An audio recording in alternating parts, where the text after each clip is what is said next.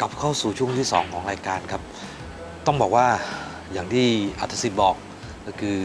ในการบรรยายสนุกเกอร์ระดับโลกแต่ละครั้งเขาจะสอดแทรกความรู้ แล้วเรียกว่าเหมือนกับสอนหรือแนะนำให้น้องๆ หรือเยาวชนรุ่นใหม่ หรือคนที่อยากรู้เรื่องสนุกเกอร์ไปในตัว แต่มีคำถามว่าเก่งๆ อย่างนี้ น่าจะเป็นโค้ชทีมชาติ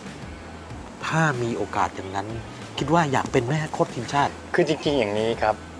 จริง ๆ ก่อนหน้านี้ก็ก็เคยโดนทับทามนิดๆนะครับครับ จากทางสมาคมแต่จริงๆก็คือผมเนี่ยอย่างที่เรียนทุกอย่างอยู่ที่เวลา ถ้าจริงๆ ตอนนี้ตอนนี้ณเวลานี้นะครับ ถ้าสมาคมเปิดโอกาสนะครับ ก็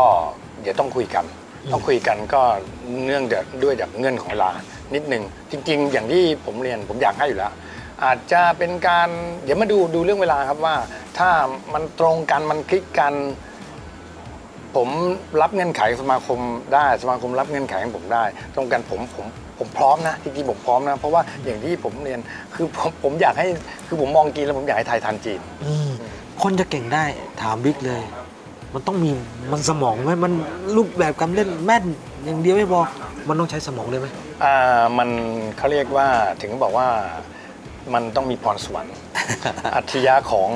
สนุกเกอร์กีฬาเนี่ยมันเป็นกีฬาที่ใช้ความคิด มันเป็นกีฬาที่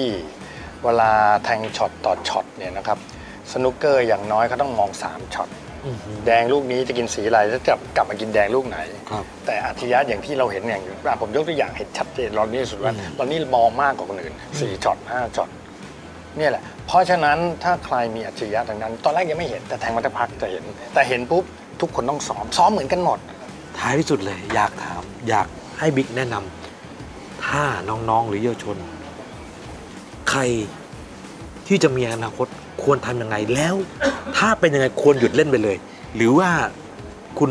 ไม่ได้ไกลขนาดนี้แน่ อืม มันอยู่ที่ตรงไหน ที่คุณบิ๊กบอกว่าพรสวรรค์เราเราไปเจอได้ยังไง หรือ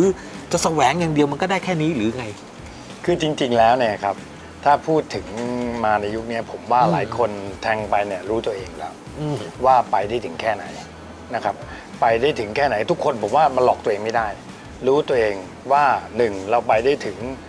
การเล่นแชมป์ ranking ครับของโลกครับ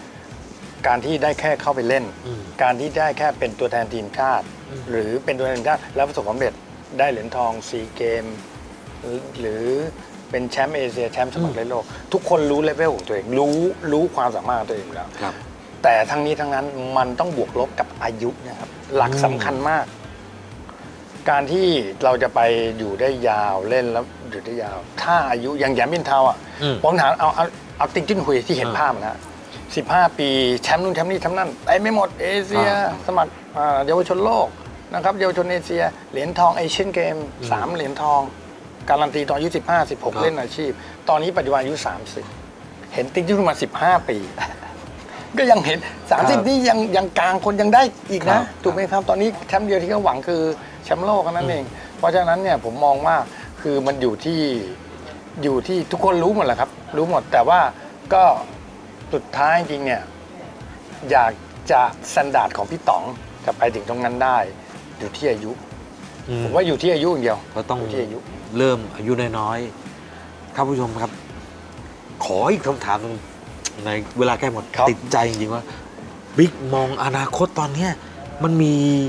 นักสนุกเกอร์ไทยได้เล่นอาชีพอยู่ เหลือไม่กี่คนแล้วครับมันจะมีเหลือไหมในต่อยอดมันยังไม่มีเด็กขึ้นมาเลย คิดว่ามันจะหายไปไหม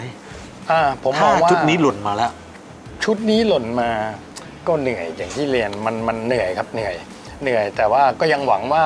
ยังเอฟหมูซันนี่อืมหรือแม้กระทั่งพี่ต๋องอย่างน้อยก็คือผมมองว่าต้องทนหน่อย ทนคืออาจจะกัดฟันยางทนหน่อย ทนทนเพื่อน้องๆทนเพื่อวงการ ทนคืออย่างร้น้ออยยน้องๆขึ้นมา ถูกต้องคือต้องติดต้องติดต้องทนหน่อยอ่า ต้องทนหน่อย แต่ใครที่มองลึกกว่านั้นอย่างเอฟหมูอืมซันนี่ เขาอาจจะมองลึกกว่านั้นที่ไปเข้าไปอยู่ในท็อปก็มองครับคุณก็พยายามอืมส่วนพี่ต๋องโอเคเขาเขาพี่ต๋องเขารู้เขารู้ตัวเองแล้ว ตอนนี้ผมว่าเขาทำเพื่อน้องอยู่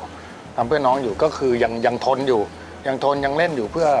หลาย ๆ อย่างให้เด็กขึ้นมา แสดงว่าบิ๊กเชื่อว่าปี2ปีนี้ยังไม่มีเด็กขึ้นแน่นอนนะวัน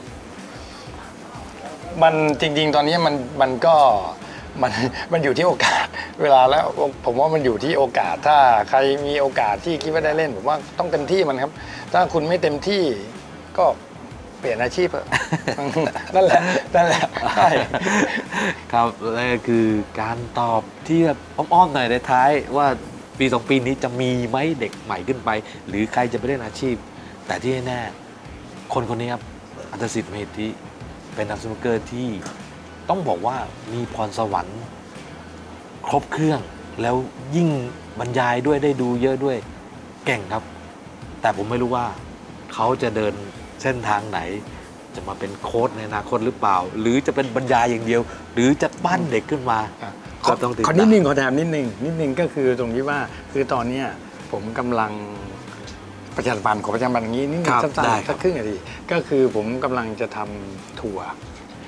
ทัวร์พาคนที่สนใจสนุกเกอร์ ไปดูนักกีฬาไทยอ๋อที่เล่นอาชีพที่อังกฤษอืมอืมไม่ว่าจะเป็นที่จีนหรือที่อังกฤษตอนนี้กำลังกำลังกำลังมี plan อยู่มี plan อยู่ มี plan จะทำก็ต้จะบอกว่านำทีมทำทีมเองสร้างฝันให้เขาก่อน นั่นแหละครับ ใช่ไหมได้เห็นได้อะไรได้มีความรู้สึกใช่อยากได้ใช่ อ้าว